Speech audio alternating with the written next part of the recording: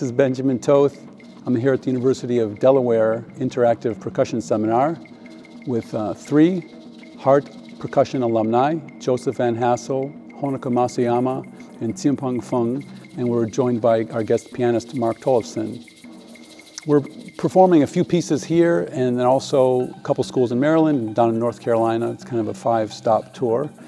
And uh, we're particularly excited to be here because we're looking forward to introducing all the attendees to some classic works for percussion, two of which are Minoru Miki's Marimba Spiritual and John Cage's Third Construction, which is before you here. And I thought I might say a few things about our instrument choices for each of those two pieces.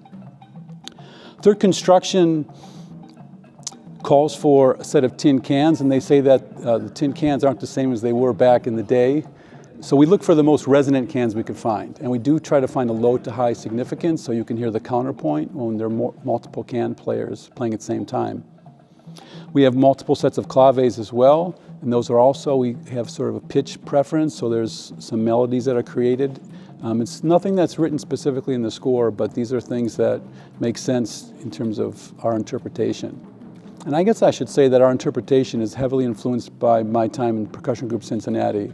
Um, for example, I open the piece with the tom-tom solo, and although my part is part two, I use the three largest Chinese drums because that's kind of a big moment in the piece, and then later there's a section where there's softer accompaniment from the other three players, and player two plays a drum solo. So percussion group like to have that played on the lowest drums. So I, even though I'm player two, I have the lowest drums, and they worked out the other sets based on melodic preferences. We prefer Chinese tom-toms, which is most likely what Cage would have used. He had several in his collection. If you search online, you can find a list that he created, he typed up, of his percussion gear, and included several Chinese tom-toms.